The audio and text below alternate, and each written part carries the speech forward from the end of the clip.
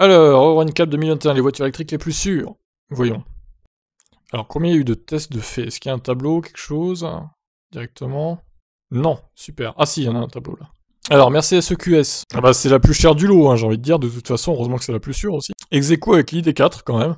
Le deuxième, c'est la Skoda donc euh, groupe Volkswagen plutôt bien. BMW iX, troisième. Ford Mustang Mach-E, quatrième. Et Audi Q4 e-tron, cinquième. Donc, il euh, n'y a que des constructeurs euh, allemands finalement. Bon, Skoda fait partie du groupe Volkswagen, hein, je l'inclus dedans.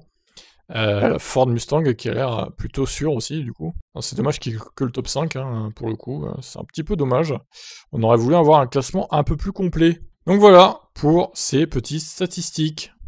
Sachant que les pires voitures électriques, selon Euro NCAP, attention, hein, évidemment, prenons des pincettes, ce sont la Zoé et la Dacia Spring. Voilà, j'attends vos commentaires là-dessus. Ciao, ciao.